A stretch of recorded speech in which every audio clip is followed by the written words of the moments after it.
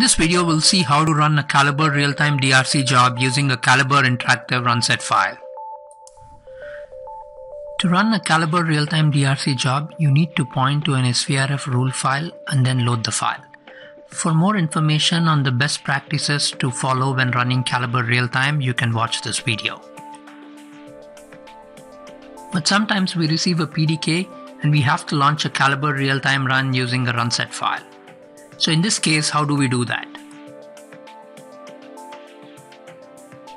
I open the Calibre real-time options GUI, select the runset option, and then I point to a runset file. In this case, my runset file also contains a customization file. Therefore, when I hit the reload button, a customization GUI shows up that tells me that I am running my full chip checks. So I click OK on this dialog, and this completes the loading of the runset file. I hit the run DRC button and you'll see that a total of 7267 results are generated, including results from the full chip checks. Since I'm only running on a block level design, I want to disable my full chip checks.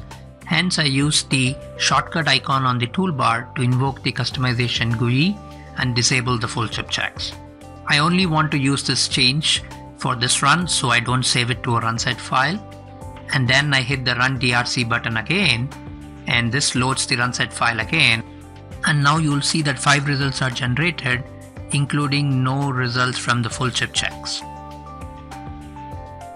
So today we have seen how to load a runset file and launch a Calibre real-time DRC run. My name is Srinivas Velivala and I hope this video was helpful to you. Thank you.